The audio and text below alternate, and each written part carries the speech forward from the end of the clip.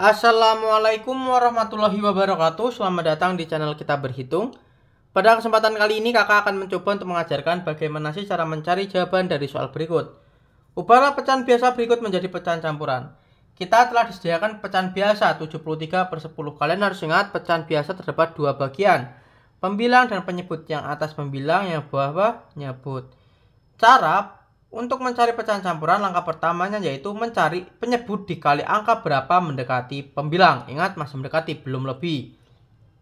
10 kali berapa mendekati 73? 10 dikali 4, 40. 10 kali 5, 50. 10 kali 6, 60. 10 kali 7, 70. 10 kali 8, 80. 80 sudah lebih dari pembilangnya 73 sehingga tidak kita gunakan. 70 masih mendekati sehingga kita gunakan. 10-nya kali berapa? 7. Ya. 7 kita terus di depan. 73 kurang 70 sisa 3 kita jadikan pembilang penyebutnya 10. Sehingga pecahan campuran dari 73 per 10 adalah 7.